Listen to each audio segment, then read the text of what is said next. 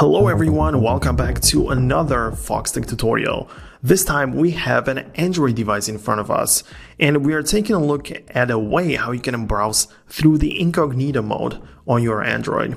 Well, it depends on which web browser you use, but uh, this is a Samsung Galaxy, so it has the Samsung web browser as well as the Google Chrome built in.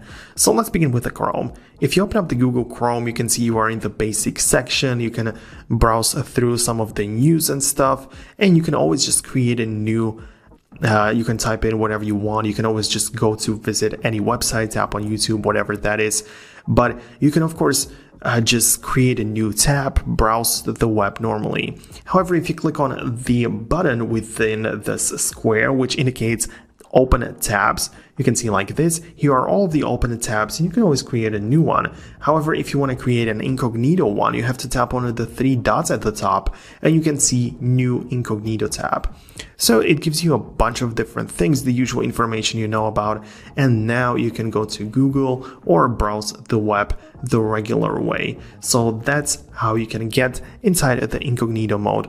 Of course, keep in mind that all the cookies and everything, it's just not going to be remembered. So that's just the nature of how it works.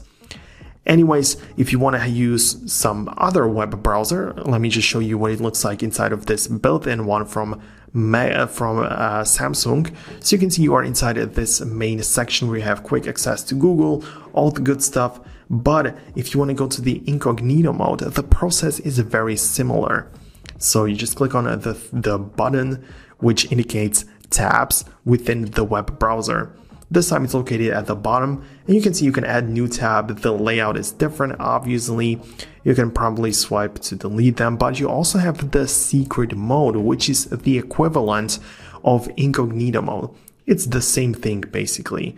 You have some other options in here. You just have to click on start and you are inside the incognito mode. You can see because of this icon in the upper left corner, there's um, just a way to like not remember the cookies and all the stuff that you visit. So it may be useful way to uh, to use the web browser, but as you can see, it looks different because uh, that's the different web browser, the built-in one, not Google Chrome. So if you have some kind of other web browser downloaded from the Play Store, it's going to work even differently. So it really depends on the exact exact app, but always just go to the multiple tabs view and then turn on the incognito mode from there.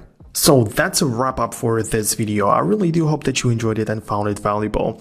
For more content and information like this in the future, make sure to hit the thumbs up as well as subscribe to the YouTube channel. Thanks a lot for watching and your support. I will catch you later on in the future. Peace out till then.